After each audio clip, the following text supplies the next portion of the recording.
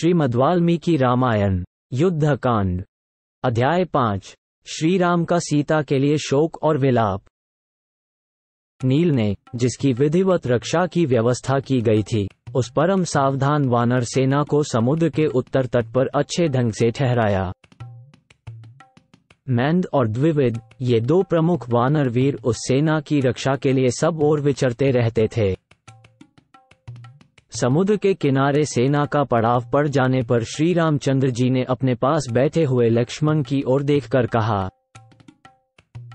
सुमित्रानंदन, कहा जाता है कि शोक बीतते हुए समय के साथ स्वयं भी दूर हो जाता है, परंतु मेरा शोक तो अपनी प्राणवल्लभा को न देखने के कारण दिनों दिन बढ़ रहा है। मुझे इस बात का दुख नहीं है कि मेरी प्रिया मुझसे दूर है। उसका अपहरण हुआ इसका भी दुख नहीं है। मैं तो बारंबार इसीलिए शोक में डूबा रहता हूँ कि उसके जीवित रहने के लिए जो अवधि नियत कर दी गई है, वो शीघ्रतापूर्वक बीती जा रही है। हवा, तुम वहाँ बह, जहाँ मेरी प्राणवल्लभा है। उसका स्पर्श करके मेरा भी स्पर्श कर। उस दशा में तुझसे जो मेरे अंगों का स्पर्श होगा वह चंद्रमा से होने वाले दृष्टि संयोग की भांति मेरे सारे संताप को दूर करने वाला और आह्लादजनक होगा। अपहरण होते समय मेरी प्यारी सीता ने जो मुझे हानाथ कहकर पुकारा था वह पिए हुए उदस्थित विष की भांति मेरे सारे अंगों को दग्ध किए देता है। प्रियत्मा का वियोग ही जिसका ईंधन है, उसकी चिंता ही जिसकी दीप्तिमती लपते हैं, वह प्रेमाग्नि मेरे शरीर को रात दिन जलाती रहती है। सुमित्रानंदन, तुम यहीं रहो, मैं तुम्हारे बिना अकेला ही समुद्र के भीतर घुसकर सोऊँगा।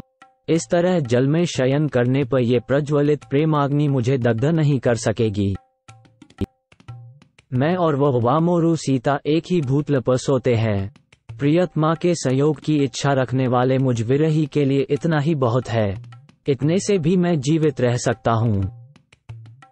जैसे जल से भरी हुई क्यारी के संपर्क से बिना जल की क्यारी का धान भी जीवित रहता है, सूखता नहीं है। उसी प्रकार मैं जो ये सुनता हूँ कि सीता अभी जीवित है, इसी से जी रहा हूँ। कब वो समय आएगा, जब शत्रुओं को परास्त करके मैं समृद्धिशालिनी राजलक्ष्मी के समान कमलनयनी सुमध्यमा सीता को देखूँगा। जैसे रोगी रसायन का पान करता है, उसी प्रकार मैं कब सुंदर दांतों और बिंब सदृश मनोहर ओठों से युक्त सीता के प्रफुल्ल कमल जैसे मुख को कुछ ऊपर उठाकर चूमूँगा।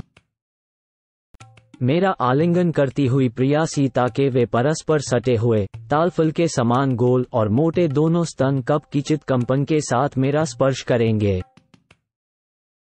कजरारे नेत्र प्रांत वाली वह सती साध्वी सीता, जिसका मैं ही नाथ हूँ, आज अनाथ की भांति राक्षसों के बीच में पड़कर निश्चय ही कोई रक्षक नहीं पा रही होगी।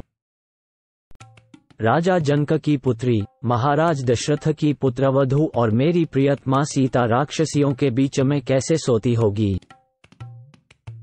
वह समय कब आएगा, जबकि सीता मेरे द्वारा उन दुर्धर्ष राक्षसों का विनाश करके उसी प्रकार अपना उद्धार करेगी, जैसे शरत काल में चंद्रलेखा काले बादलों का निवारण करके उनके आवरण से मुक्त हो जाती है। स्वभाव से ही दुबले पतले शरीर वाली सीता विपरीत देश काल में पड़ जाने के कारण निश्चय ही शोक और उपवास करके और भी दुर्बल हो गई होगी।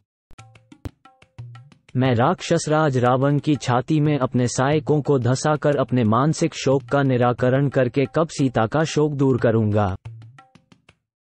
देवकन्या के समान सुंदरी मेरी सती साध्वी सीता कब उत्कंठापूर्वक मेरे गले से लगकर अपने नेत्रों से आनंद के आँसू बहाएगी।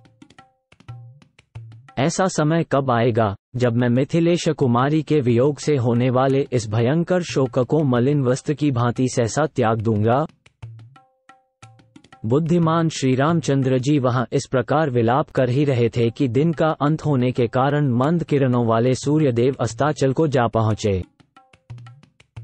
उस समय लक्ष्मण के धैर्य बधाने पर शोक से व्याकुल हुए श्री राम ने कमलनयनी सीता का चिंतन करते हुए संध्योपासना की।